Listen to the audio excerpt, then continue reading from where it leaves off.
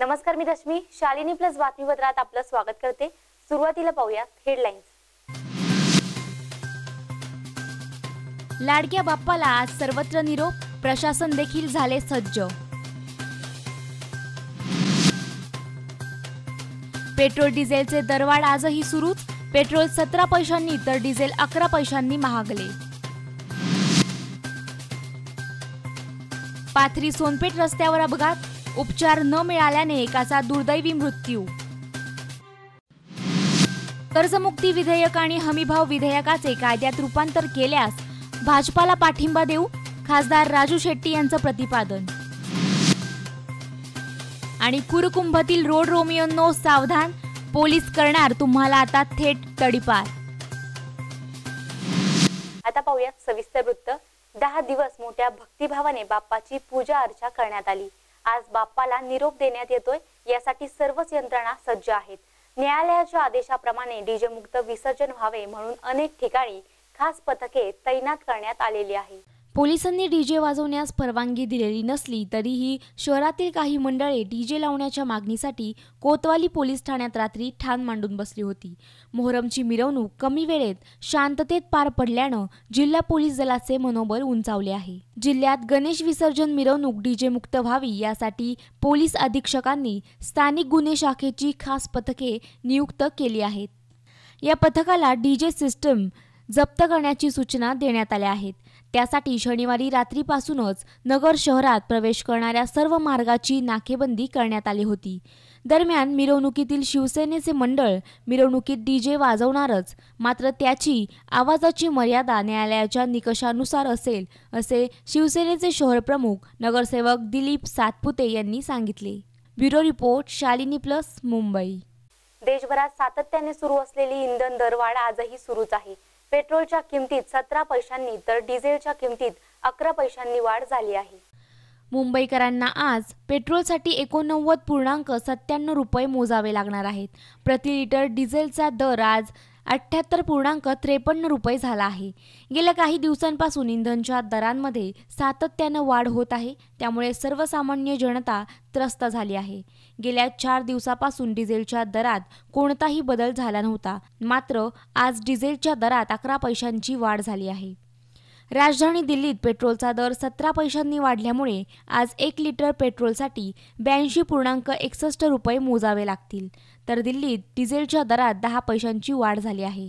त्यामुळे आज दिल्लीत डिझेलचा दर त्र्याहत्तर पूर्णांक सत्त्याण्णव रुपयांवर जाऊन पोहोचला आहे. दिवसेंदिवस इंधनचे दर वाढतच असल्याने सर्वसामान्य जनतेच्या खिशावर भार पडला आहे. Bureau report Shalini plus Mumbai. Pathri Sonpeth रस्त्यावर झालेल्या भीषण अपघातात एकाचा मृत्यू झाल्याची घटना समोर आली आहे. त्यातच या अपघातात जखमी झालेल्या युवकाला वेळेत उपचार न मिळाल्याने मृत्यू झाल्याचं स्थानिकांनी सांगितलं आहे. पाथरीकडून सोनपेठकडे येणाऱ्या अवैध प्रवासी वाहतूक करणाऱ्या भरधाव जीपने सोनपेठकडून पाथरीकडे जाणाऱ्या विटा बुद्रुक येथील अशोक वसंत हारकाळ यांच्या मोटारसायकलला जोरदार धडक दिली. या धडकेत दुचाकीस्वार गंभीर जखमी झाला. जखमी अवस्थेत अशोक हरकळ यांना उपस्थितांनी उपचारासाठी सोनपेठ येथील प्राथमिक आरोग्य केंद्रात दाखल केले. जखमी झालेल्या अशोक हरकळ यांच्या जखमेतून मोठ्या प्रमाणात रक्तस्राव होत असताना प्राथमिक आरोग्य केंद्रात जवळपास अर्धा तास जखमी अवस्थेत त्यांना ठेवण्यात आले होते. मात्र नेहमीप्रमाणे सोनपेठ प्राथमिक आरोग्य केंद्रात तालुका आरोग्य अधिकारी यांच्यासह दोन्ही वैद्यकीय अधिकारी उपस्थित नसल्यामुळे अपघातात जखमी झालेल्या युवकावर वेळीच उपचार होऊ न शकल्यामुळे त्याचा जागीच मृत्यू झाला. त्यानंतर तेथे डॉक्टर महाजन आले आणि त्यांनी रुग्णाची तपासणी करून गावकऱ्यांचा रुद्रावतार पाहून तात्काळ अंबेजोगाई येथे नेण्यास सांगितले. अंबेजोगाई येथे गेल्यानंतर डॉक्टरांनी तपासणी करून अशोक हरकळ हे मृत झाल्याचे सांगितले. यापूर्वीही सोनपेठ प्राथमिक आरोग्य केंद्रात विटा बुद्रुक येथील एका तरुणाला सर्पदंश झाल्यामुळे उपचारासाठी दाखल करण्यात आलं होतं. मात्र त्यावेळीही येथे तालुका आरोग्य अधिकारी आणि वैद्यकीय अधिकारी उपस्थित नसल्यामुळे त्याच्यावर वेळीच उपचार उपचार होऊ शकले नाही. यावेळी जखमी सोबत आलेल्या गावकऱ्यांनी सोनपेठ आरोग्य केंद्रात रुग्णांच्या जीवाशी खेळत असलेल्या तालुका आरोग्य अधिकारी आणि वैद्यकीय अधिकाऱ्यांवर कार्यवाही करण्याची मागणी केली आहे. आज हा बळी गेलेला आहे. अर्धा तास झालेला आहे पेशंट आणून रक्तस्राव होऊन मृत्यू पावलेला आहे जागेवर पेशंट आणि दोन दिवसापूर्वी साप चावून एक पेशंट आणलेला असताना हे डॉक्टर गैरहजर त्या दिवशी गैरहजर होते. आणि आजही गैरहजर आहेत. त्यांच्यावर कडक कारवाई झाली पाहिजे. आणि असे गोरगरिबाचे बळी जात आहेत. हे पगार उचलत आहेत शासनाचा आणि ह्या अशा नोकऱ्या करीत आहेत घरी बसून. शालिनी प्लससाठी रवींद्र देशमुख परभणी. भाजपने संपूर्ण कर्जमुक्तीचे अधिकार विधेयक आणि उत्पादन खर्चाच्या दीडपट हमीभावाच्या विधेयकाचे कायद्यात रूपांतर केल्यास भाजपालाही पाठिंबा देऊ असे खुले आवाहन स्वाभिमानी शेतकरी संघटनेचे खासदार राजू शेट्टी यांनी दिले आहे. ते पत्रकारांशी बोलत होते. लोकसभेमध्ये संपूर्ण कर्जमुक्तीचे अधिकार विधेयक आणि उत्पादन खर्चाच्या दीडपट हमीभावाचे अधिकार विधेयक मांडले आहे. त्याला सत्ताधारी शिवसेनेबरोबरच काँग्रेस राष्ट्रवादीसह तेवीस पक्षांनी पाठिंबा दिला आहे. राज्यात आणि केंद्रात सत्तांतर झाल्यास ज्यावेळी हे विधेयक चर्चेला येईल त्यावेळी त्याचे विधेयकात रूपांतर झाले पाहिजे हा आमचा मुख्य मुद्दा आहे. भाजपला आमचा पाठिंबा हवा असेल तर त्यांनी दोन्ही विधेयक सरकारी विधेयक म्हणून मांडून त्याचे कायद्यात रूपांतर करावे असे खुले आवाहन खासदार राजू शेट्टी यांनी भाजपला दिले. दरम्यान मात्र त्यांना तसे करायचे असते तर त्यांनी आधीच केले असते ते करत नाहीत हे आम्हाला माहीत आहे. त्यामुळे पाठिंबा देण्याचा प्रश्नच नाही अशी टिप्पणीही यावेळी त्यांनी केली. कराड येथे माजी केंद्रीय मंत्री शरद पवार यांच्या समवेत कमराबंद बैठक झाल्यानंतर खासदार शेट्टी यांनी पत्रकारांशी संवाद साधला. नाही सहावर आम्हाला इंटरेस्ट आहे.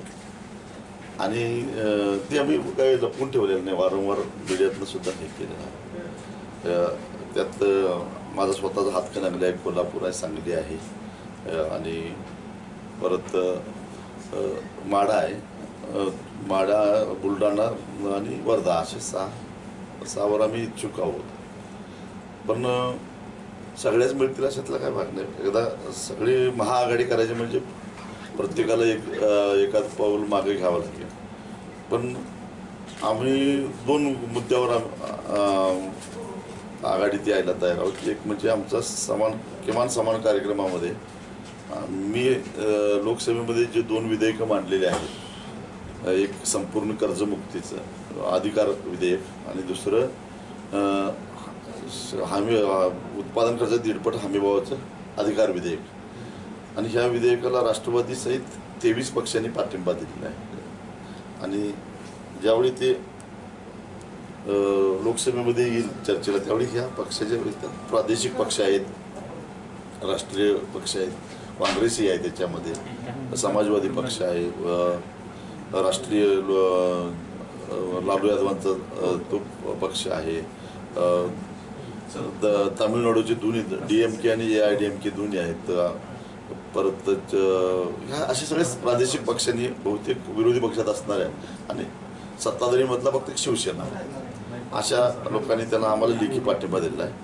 आता आमची अपेक्षा अशी आहे की राज्यात आणि केंद्रात सत्तांतर जर झालं तर ही जी खाजगी विधेयकं आहेत त्याचं रूपांतर सरकारी विधेयकात झालं पाहिजे. आणि त्याची हमी येत्या किमान समान कार्यक्रमाअंतर्गत जी जाहीरनामा तयार होईल त्या जाहीरनाम्यात या देशातल्या शेतकऱ्यांना मिळालं पाहिजे. शालिनी प्लससाठी सकलेन मुलानी कराड. दौंड तालुक्यातील कुरकुंभ येथे रोड रोमियोंची आता खैर नाही. कारण वाढत्या गुन्हेगारीमुळे पोलिसांनी रोड रोमियोंना थेट तडीपार करण्याचा इशारा दिलाय. पाहुयात सविस्तर बातमी. दौंडमधील कुरुकुंब येथे वाढते गुन्हे रोखण्यासाठी ग्राम सुरक्षा दल आणि महिला सुरक्षा समिती मेळाव्याचे आयोजन करण्यात आले. महिलांवरचे वाढते अत्याचार गुन्हेगारी लक्षात घेता प्रत्येक गावातील पाच सदस्य घेऊन गावोगावी ग्राम सुरक्षा दल आणि महिला सुरक्षा समिती स्थापन करण्यात आली. ग्राम सुरक्षा दलातील सर्व सदस्यांना ग्राम सुरक्षा दल असे नाव असलेले टी शर्ट दोन पोलीस स्टेशनचे पोलीस निरीक्षक सुनील महाडिक यांच्या हस्ते वाटप करण्यात आले. परिसरातील महिला आणि मुलींना रोड रोमिओ पासून होणाऱ्या त्रासामुळे महिलांच्या सुरक्षितेचा प्रश्न निर्माण झाला आहे. यामुळे ज्यांच्यावर रोड रोमिओचे गुन्हे दाखल होतील त्यांना तडीपार केल्याशिवाय राहणार नाही असा कडक इशाराच महाडिक यांनी यावेळी दिला. या कार्यक्रमाच्या वेळी कुरकुंबचे सरपंच राहुल भोसले यांच्यासह सर्व पोलीस कर्मचारी आणि ग्रामस्थ उपस्थित होते. जो आहे पुणे ग्रामीणसारखा विकसित जिल्हा आहे. आणि ह्या विकसित जिल्ह्यामध्ये जर ग्रामीण भागामध्ये जर उघडपणे कोणीतरी येऊन आमच्या बहिणी किंवा आमच्या मुली यांचं जर कोण छेड काढत असेल आणि त्याच्याबद्दल जर एकही गुन्हा दाखल झाला तर आम्ही निश्चितपणे या ठिकाणाहून मान्य पोलीस अधीक्षक सरांचा सुद्धा तसाच आदेश आहेत की तो तडीपार झाला पाहिजे. आणि हे धोरण आम्ही ठामपणे राबवणार आहोत. शालिनी प्लससाठी सुशांत जगताप दौंड.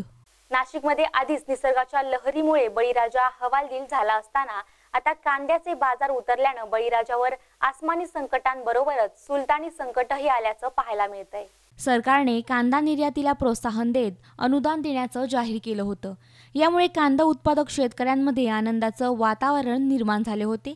मात्र बाजारात सुधारणा होण्याऐवजी परत बाजार कमी होत असल्याचंच सध्या दिसून येत आहे. गेल्या वर्षी कमी पाऊस पडल्याने नाशिक परिसरातील काही शेतकऱ्यांनी गावठी कांद्याची लागवड केली होती. सुरुवातीला बाजार कमी असल्यानं भविष्यात कांदा बाजारात सुधारणा होऊ शकते. या अपेक्षेने शेतकऱ्यांनी कांद्याची कांदा साडीत साठवणूक केली होती. मात्र आता नवीन कांदा बाजारात येण्याची वेळ आली.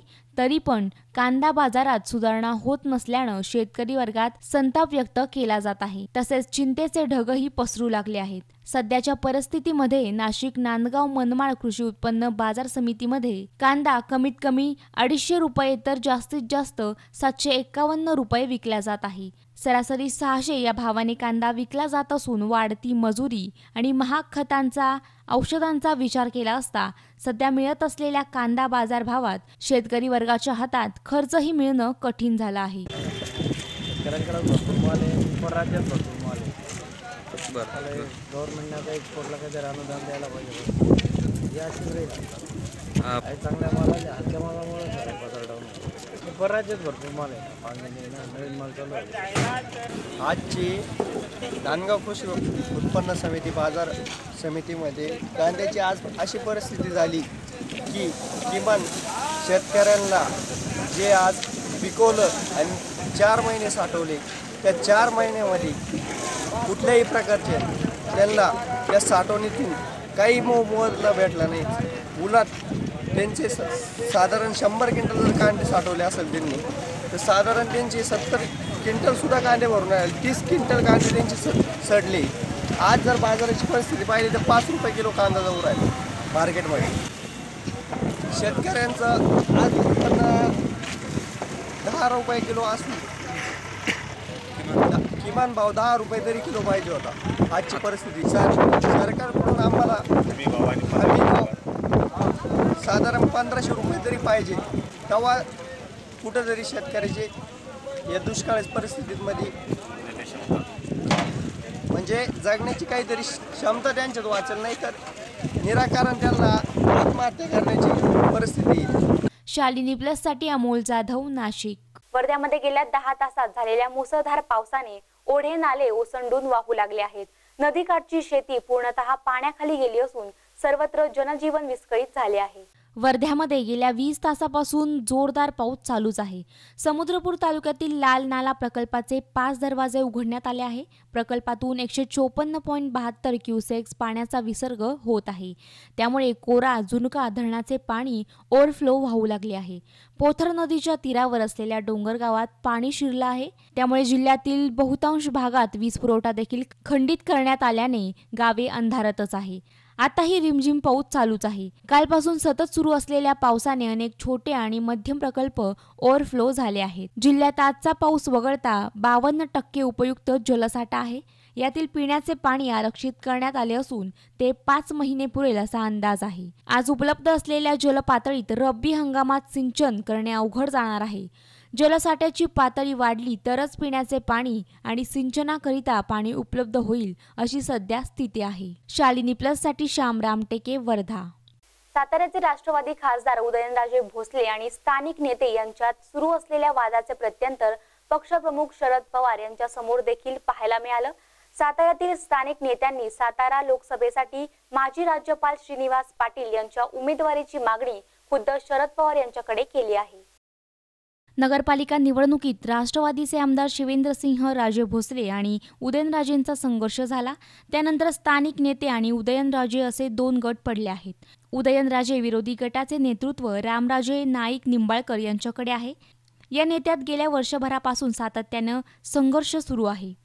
उदयनराजेंना उमेदवारी देऊ नये असा उदयनराजे विरोधकांचा पवारांकडे आग्रह आहे. गेली चार दिवस उदयनराजे आणि शिवेंद्र सिंह यांच्यात टीका टिप्पणी झाली आहे. या पार्श्वभूमीवर आजच्या घडामोडी घडल्या आहेत. शरद पवार आज सातारा दौऱ्यावर आहेत. उदयनराजे पवारांना भेटले. त्यामध्ये त्यांची कमराबंद चर्चा झाली. मला सांगा शरद पवार आज त्यांचं एज एवढा मोठा कोण नेता आहे? अहो आपल्या सगळ्यांना लाजवल एवढं धावपळ करत असतो. काय बोलायचं त्या माणसाशी? ठीक आहे. मला फसवा फसवी करू नका फक्त. नाही तर आपल्याला पण कळतं. दरम्यान सातारा लोकसभेसाठी उदयनराजे राष्ट्रवादीचे उमेदवार नको तशी उघड भूमिका रामराजे नाईक निंबाळकर यांच्या नेतृत्वाखाली आमदार शशिकांत शिंदे आमदार शिवेंद्रसिंहराजे भोसले आमदार बाळासाहेब पाटील आमदार मकरंद पाटील यांनी माजी खासदार सनदी अधिकारी श्रीनिवास पाटील यांना उमेदवारी देण्याबाबत शरद पवार यांना सांगितल्याने उदयनराजे भडकले. मात्र पक्ष आदेश देईल ते काम करणार असल्याचं श्रीनिवास पाटील यांनी मत व्यक्त केलं. असं आहे सामान्य माणसाचं मत पक्षाचं मत पक्षाच्या नेत्यांचं मत हे विचारात घेऊन जो पक्ष आदेश देईल ज्या प्रकारचं सतरंजांच्या घड्या घालण्यापासून खुर्च्या उचलण्यापर्यंत एकेकाळी युवक काँग्रेसचा कार्यकर्ता म्हणून मी काम केलेलं आहे. आणि आजही जे पडेल ते काम पक्ष सांगेल ते काम सहकारी सांगतील ते काम नेते सांगतील ते काम किंवा पडेल ते काम जे काम म्हणणं ते करण्याची मानसिक तयारी ठेवून मी आज साताऱ्यात आलो. उदयनराजे यांच्या अडचणीत त्यांच्या वक्तव्याने वाद निर्माण होत आहेत. अनेक वेळा पक्षाविरोधी भूमिका घेतल्यानं पवारांसमोर उदयनराजे म्हणजे अडचण नसून खोळंबा असं झालंय. चंद्रकांत पाटलांनी की ज्या राजकीय पक्षात आहे त्या पक्षाने देश पातळीपासून महाराष्ट्रापर्यंत एकट्याने निवडणूक लढवली का असता त्यांचं सवन नियोजन कधी शिवसेनेच्या बरोबर कधी आणखीन रिपब्लिकन पक्षाचे रामदास आठवले साहेब त्यांच्याबरोबर. त्यामुळे आपलं सगळं झाकून ठेवायचं आणि दुसऱ्याचं काहीतरी दाखव म्हणून सांगायचं. की काही शहाणपणाचं लक्षण नाही. त्याच्याबद्दल त्यांनी काही बोलायचा काही फारसा त्यांना अधिकारी नाही. आणि नाही त्या गोष्टीचं त्यांनी आपलं वक्तव्य करू नये हा त्यांनी काही कर्तृत्व दाखवलं. चार वर्षात राज्याच्या हितासाठी भयंकर काम केलं. वगैरे वगैरे याच्यात काही सांगितलं तर समजू शकतो. किंवा आता त्यांच्या पक्षाने किंवा त्यांच्या नेतृत्वाने जे सबन सगळ्या देशामध्ये सध्या चर्चा आहे अशा महत्त्वाच्या प्रश्नावर काही मतं दिली तर त्याचा उपयोग आहे. जे खासदार आहेत ते मला भेटायला येणार आहे. अवश्य आम्ही त्यांना वेळ दिलेला आहे. असं आमच्या पुढचा विषयच नाही ना आता हा तुम्हीच विषय करताय तुमच्या मनात आहे का? आम्ही तर कोणाची चर्चा केलेली नाही. आमची बैठकही झालेली नाही. राष्ट्रवादीमध्ये आणि बैठक झालेली नाही त्यांना स्वतः ते- त्यांनी वेळ मागितली मी त्यांना चर्चेला वेळ दिलेली आहे आता त्यांच्याशी बोलायचं मी कसं शालिनी प्लससाठी सकलेन मुलांनी सातारा. वर्ध्यातील यशोदा नदीच्या पुरात अडकलेल्या चौघांना वाचवण्यात प्रशासनाला यश आलं आहे. तर दुसरीकडे एस टी बसमध्ये अडकलेल्या सतरा प्रवाशांना देखील सुखरूप बाहेर काढण्यात आलं आहे. वर्ध्यामध्ये कालपासून पाऊस चालूच आहे. याच दरम्यान हिंगणघाट ते काजळसरा जाणारी बस सतेफळजवळ एका नाल्याच्या पुरात अडकली. रात्री उशिरा माहिती मिळताच रेस्क्यू टीम घटनास्थळी पोहोचली. पहाटेपर्यंत रेस्क्यू करून सतरा प्रवाशांना सुखरूप बाहेर काढण्यात आलं. यामध्ये सातेफळच्या वीस ते एकवीस गावकऱ्यांनी यामध्ये महत्त्वपूर्ण सहकार्य केलं आहे. शालिनी प्लससाठी श्याम रामटेके वर्धा. वर्धा जिल्ह्यात गेल्या दहा तासांपासून पडलेल्या मुसळधार पावसाने लहान मोठे नदी नाले ओसांडून वाहू लागले आहे. यशोदा नदीला आलेल्या पुरामुळे राळेगाव वर्धा हा राज्यमार्ग वाहतुकीसाठी रात्री बारा वाजेपासून बंद होता. तर याच नदीगाठीवरील भगावा गावातील साठ वर्षी बलराज शौकत यांचे शेतात असलेल्या बंड्याला पुराच्या पाण्याने वेळल्याने वीस वर्षी बलराज शौकत पंचवीस वर्षीय सतीश कुमार वजीर शौकत दीड वर्षीय नयन सतीश शौकत हे कालपासून अडकले होते? याची माहिती तहसील प्रशासनाला मिळताच हिंगणघाटचे तहसीलदार यांच्या मार्गदर्शनात रेस्क्यू टीमने या चार लोकांना बोटीच्या सहाय्याने बाहेर काढले. बाहेर निघताच या अडकलेल्या व्यक्तींनी सुटकेचा श्वास घेतला. शालिनी प्लससाठी विलास नवघरे वर्धा. सैन्य दलातून निवृत्त झालेल्या सैनिकांचा सपत्नीक शौर्य सन्मान देऊन नेरले येथे गौरव करण्यात आला. हिंदवी बहुउद्देशीय विकास संस्थेच्या वतीनं या पुरस्कार वितरण सोहळ्याचे आयोजन करण्यात आले होते. करमाळामध्ये ज्यांच्या जीवावर आपण सुरक्षित राहतो त्यांच्या कार्याचा एक सन्मान म्हणून या कार्यक्रमाचे आयोजन करण्यात आले होते असे आयोजकांनी सांगितले. शरद काळे हंबीरराव काळे मोहम्मद शबीर मोमीन बिरुदेव पोळ रामेश्वर मुसळे या सैन्यातून निवृत्त झालेल्या सैनिकांचा सपत्निक शाल श्रीफळ सन्मानचिन्ह आणि प्रशस्तीपत्र देऊन सत्कार करण्यात आला. तसेच या पाचही सैनिकांची ढोल ताशांच्या गजरात संपूर्ण गावातून मिरवणूक काढण्यात आली. यावेळी महेश अंधारे अंकुश काळे संजय मुसळे लहू काळे सागर काळे सुजित काळे हिंदवी बहुउद्देशीय विकास संस्थेचे सदस्य आणि ग्रामस्थ यावेळी बहुसंख्येने उपस्थित होते. मी शरद काळे आज माझ्या व इतर रिटायरमेंट सेना बांधवाचा आपण हिंदवी तरुण मंडळ नेरले. ग्रामस्थ यांनी जे सत्कार केला याबद्दल मी आभारी आहे. मी जेव्हा वर्दी अंगावर चढवतो तेव्हा देशभक्तीनं भरावून देशासाठी जगायचे व मरायचे. तर भारत भारत मातेसाठी हेच निश्चय केला होता. माझा फौजी असण्याचा मला व माझ्या कुटुंबियांना गर्व आहे. तरुणांना व्यसन तरुणांना व्यसन करू नका. व्यायाम करा. सेनात भरती व्हा. देश सेवा करा. आणि गावाचं नाव मोठं करा. आपल्याला हा सुवर्ण योग आला. खर तर आज गावातून मिरवणूक निघत असताना एवढा आनंद वाटला की प्रत्येकाच्या घरासमोर रांगोळ्या मंदिरात जात असताना थोडस माझ्या लक्षात आलं की आमचे बंधू मोमीन साहेब जेव्हा हनुमानाच्या मंदिरात आपण एंट्री केली त्यांनी क्षणाचाही विलंब न करता क्षणाचाही विलंब न करता पहिला पाऊल त्यांचा पडला त्या मंदिरात. आहे का जातीभेद? हे सीमेवर लढत असताना कसला विचार करतात का? की तो हा जातीचा तो हा समाजाचा मी का रक्षण करू? दिवस रात्र तिथं असतात आपण आराम करतो आपण क्रिकेट मॅच बघतो नको तिथं फिरायला जातो फक्त ह्यांच्या जीवावर. ह्यांचं काय कार्य आहे ना ते आपल्याला माहीत नाही. कलेक्टर मोठ्या पदावर आपण जातो माझ्या समाजात. सत्तेचाळीस मुलं कार्यरत आहेत सरकारी नोकरीत दहा ते पंधरा लोक परदेशात गेले. आमच्या भगिनी परदेशात नांदतात. आणि आमच्या समाजाबद्दलमध्ये काही इलेक्शन झालं जातीबद्दल चर्चा ह्याच्याबद्दल चर्चा. अरे तेच तेच किती गुरफटात राहायचं? किती गुरफटात राहायचं? त्यांना काय माहीत आहे? इकडे काय चालतं? माझ्या समाजात सर्वोच्च पदावर किती लोक आहेत ना येऊन बघा. इथे बघा पन्नास पन्नास लोक आमच्या अंडर काम करतात. पन्नास पन्नास लोक. शालिनी प्लससाठी शीतल कुमार मोटे करमाळा. वर्धा जिल्ह्यात सध्या जोरदार पाऊस सुरू आहे. शुक्रवार आणि शनिवार झालेल्या पावसाची नोंद स्कायमेट वेदरच्या नुसार भारतातील सर्वाधिक पाऊस होता. तशी नोंद स्कायमेटने केली आहे. सोनवडे येथील श्रीकांत गणेश मंडळाने आरळा चांदोली रस्त्यावर पडलेले खड्डे बुजवून सामाजिक बांधिलकी जपली आहे. पाहुयात ही सकारात्मक बातमी. सोनवडे येथील श्रीकांत गणेश मंडळाने आरळात चांदोली जाणाऱ्या मुख्य मार्गावरील पडलेल्या रस्त्यावरील मोठे खड्डे बुजवून सामाजिक बांधिलकी जपली आहे. याच ठिकाणी छोटे मोठे अपघात होत होते. त्यातच हा मार्ग वळणाचा असल्यानं वाहनधारकांना खड्डा चुकवण्याच्या नादात वाहनावरील ताबा सुटून अपघात होत होते. याची दखल श्रीकांत गणेश मंडळाच्या अध्यक्षांसह कार्यकर्त्यांनी घेऊन गणपती बाप्पा मोरया मंगलमूर्ती मोरयाच्या गजरात खड्डे बुजवण्यास सुरुवात करून दीड तासात खड्डे बुजवले.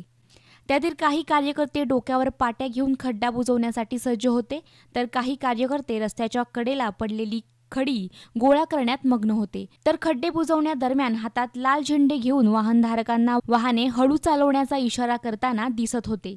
आनंदमय वातावरणात हा उपक्रम सुरू होता. येणाऱ्या जाणाऱ्या वाटेचे वाटसरू कुतूहलतेने पाहत होते. मंडळाने जपलेल्या सामाजिक बांधिलकीचे सर्वत्र कौतुक होताना दिसत आहे. आज जो हा उपक्रम त्यांनी राबवलेला आहे त्याला माझ्या लाख लाख शुभेच्छा. शालिनी प्लससाठी भगवान देवकर शिराळा. जाफराबाद तालुक्यातील नवयुवक मंडळाने मराठा क्रांतीची एल्गार ॲडव्होकेट स्वातीताई पाटील नखाते यांच्या व्याख्यानाचा कार्यक्रम घेतला. यावेळी त्यांनी हुंडा तसेच व्यसनाधीनता यासह विविध विषयांवर मार्गदर्शन केले. जाफराबाद तालुक्यातील वरुड बुद्रुक येथील गणपती उत्सवात श्री नवयुवक गणेश मंडळ यांच्या वतीने वेगवेगळे कार्यक्रम राबवले जातात.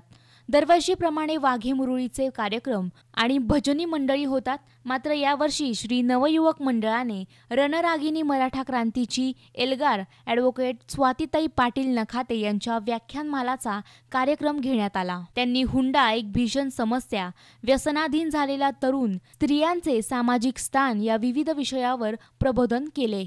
आम्ही दरवर्षी सार्वजनिक उपक्रम राबवण्याचा कार्यक्रम करतो. त्याचप्रमाणे जुनी परंपरा सांस्कृतिक कार्यक्रम हे जोपासण्याचं काम आम्ही करतो. आणि यातून एक उद्देश दे उपदेश देतो गावाला की जुनी परंपरा आणि यातच जे टिळक टिळकांनी जा उद्देश होता गणपती बाप्पाचा की बा एकत्र येऊन काहीतरी मनोरंजन हा उपदेश जो आहे तो आम्ही जोपासण्याचं काम करतो. नक्कीच महाराष्ट्रामधल्या कितीतरी गावांमध्ये सगळे तरुण एकत्र येऊन वेगवेगळे कार्यक्रम साजरे करत असतात. या कार्यक्रमात साजरे करत असताना व मराठवाड्यातील कित्येक समाज हा कार्यक्रम अटेंड करण्यासाठी येत असतात. या कार्यक्रमाच्या औचित्यानं आम्हाला एवढंच सांगायचं सगळ्या तरुण वर्गांना त्याचबरोबर महिलांना की समाजामध्ये व्यसनाचं प्रमाण झालं हुंडासारख्या समस्या झाल्या त्याचबरोबर स्त्री भ्रूण हत्या असतील किंवा महिलांच्या शिक्षणासाठी किंवा त्यांच्या संरक्षणासाठी ज्या पद्धतीने आज समाजाने एकत्र यायला पाहिजे या यासाठी आम्ही प्रत्येक गावामध्ये जाऊन प्रबोधन करत असतो. मग औचित्य हे गणेश उत्सवाचं असेल किंवा नवरात्रीचं असेल किंवा वेगवेगळ्या ज्या ज्या ज्या माध्यमातून आम्हाला गावातल्या लोकांपर्यंत पोहोचता येईल जसं की आमचं सप्ताह जरी बोलवलं तरी सुशिक्षित आहोत पण आपल्याला तिकडे जायचं नाही. अशातलं काही गणित नाही. जिकडे आपल्याला मराठवाड्यातला वर्ग दिसून येईल तिकडे जाऊन त्यांचं प्रबोधन करणं. शालिनी प्लससाठी दत्ता शिंदे जाफराबाद. वर्धा जिल्ह्यातील हिंगणघाट तालुक्यात पावसाचा मोठा फटका सर्वसामान्यांना बसला आहे. अनेक ठिकाणी घरांची पडझड झाली आहे तर अनेक ठिकाणी नदीवरील पूल पाण्याखाली गेले आहेत. एकूणच जोरदार पावसामुळे जनजीवनावर मोठा परिणाम झाला आहे. पावसामुळे वर्धा जिल्ह्यातील हिंगणघाट तालुक्यात अनेक गावात घरांची पडझड झाली आहे. हिंगणघाट शहरातील दोनशे वर्ष पुरातन झाडे कोसळली आहेत. यात दोन नागरिक थोडक्यात बचावले. सातेफळच्या नाल्याच्या पुरात एस टी बावीस प्रवाशांसह अडकली होती. सर्व प्रवाशांना सुखरूप काढण्यात आले. रात्री चार वाजेपर्यंत हे बचाव कार्य चालू होते. हिंगणघाट तालुक्यात जिल्ह्यातील सर्वाधिक पावसाची नोंद झाली आहे. दोनशे सव्वीस मिमी पाऊस एकाच दिवशी पडल्यानं अनेक वित्तीय हानी झाली आहे. तालुक्यातील कात्री या गावातील पूल आणि रस्ता वाहून गेला. तसेच हिंगणघाट शहराजवळील नंदोरी रोडवर असलेल्या सुलतानपूर येथील देखील पूल वाहून गेला आहे. दोन वर्षांपूर्वी या पुलाचं काम करण्यात आलं होतं. याचप्रमाणे हिंगणघाट शहरात आणि अनेक गावात घरांची पडझड झाली असून कांचनगाव येथील दोन घरांचे नुकसान झाले तर शेगाव कुंड येथील एका घराची भिंत पडली आहे. काल संध्याकाळी सात वाजता अचानक झाड पडला. एक मिनिटाचा तो उशीर झाला असता तुम्ही आणि आमच्या साहेब साहेब दोघे झाडाखाली दबलो असतो. एका सेकंडसाठी आमचा जीव वाचला. एवढा पाऊस आम्ही कधीच बघितलेला नाही आहे आता प्रशासनाला नम्र विनंती आहे की जे टेढेमेढे झाडं आहे ते रस्त्याच्या बाजूला करणं अति आवश्यक आहे. विशेष म्हणजे शिवसाहेबांनी त्वरित मदत पाठवली बुलडोझर कटर वगैरे पंधरा मिनटं तिथं आले. आम्ही त्यांचे देखील आभारी आहोत. शालिनी प्लससाठी विलास नवघरे वर्धा. शिराळा तालुक्यातील जांभळेवाडी येथे एका युवकाचा पुलावरून मोटारसायकलसह पडून मृत्यू झाला होता. मात्र हा अपघात नसून तो अनैतिक संबंधातून खून केला होता. हे आता पोलीस तपासात निष्पन्न झालं आहे. याबाबत पाच संशयितांना पोलिसांनी ताब्यात घेतलं आहे. शिराळा मांगले रस्त्यावरील गोरक्षनाथ मंदिर जवळील पुलावरून पडून शिवाजी मधुकर जाधव या युवकाचा तीन दिवसापूर्वी मृत्यू झाला होता. हा अपघात नसून अनैतिक संबंधातून खून झाल्याचं पोलीस तपासात निष्पन्न झालं असून पाच संशयितांना ताब्यात घेतलं आहे. यावरून पोलिसांनी तपास सुरू केला असता मयत शिवाजी यांच्या मोबाईलवर एका नंबरवरून सतत फोन येत होते. त्यामुळे या व्यक्तींबाबत संशय येऊ लागला. यामुळे महादेव सपकाळ गौसूल दिवान अभिजित कांबळे रोहित गायकवाड गणेश यादव अशी अटक करण्यात आलेल्या संशयितांची नावे आहेत. यावेळी जांभळेवाडी येथील महादेव सपकाळ यांच्या पत्नीशी मयत शिवाजी यांचे अनैतिक संबंध होते. त्यामुळे आठ महिन्यांपूर्वी महादेव याने गौसल दिवान यास बोलावून चार लाखांची सुपारी दिली होती. यानंतर महादेव सपकाळ याने ठरलेल्या रकमेपैकी एक महिन्यांपूर्वी आणखीन आठ हजार रुपये दिले. गणेश यादव आणि मयत शिवाजीची एकमेकांबरोबर बऱ्यापैकी ओळख होती. त्यामुळे दिनांक पंधरा सप्टेंबर रोजी शिवाजीला फोन करून जेवणाचे आणि दारू पिण्याचे निमंत्रण दिले. या निमंत्रणावरून गौसूल अभिजित रोहित आणि गणेश यांनी शिवाजीला दारू पाजली. जेवणानंतर मध्यरात्री एक ते अडीचच्या दरम्यान शिवाजीच्या तोंडावर उशी दाबून त्यास बेशुद्ध केले. यावेळी शिवाजी मयत झाला की बेशुद्ध झाला हे संशयितांना समजले नाही. मयत शिवाजीच्या मोटारसायकलवरून मध्यरात्री दोनच्या दरम्यान अभिजित आणि रोहितने शिवाजीला मांगले रस्त्यावरील गोरक्षनाथ मंदिर जवळील तोरणा नदीच्या पुलावर आणले. शिवाजी यास पुलावरून खाली फेकले आणि मोटारसायकल रेस करून तीही पुलावरून खाली ढकलली. यानंतर शिवाजीच्या डोक्यात दगड घालून तो मयत झाल्याची खात्री पटल्यानंतर सर्व संशयित आपल्या घरी गेले.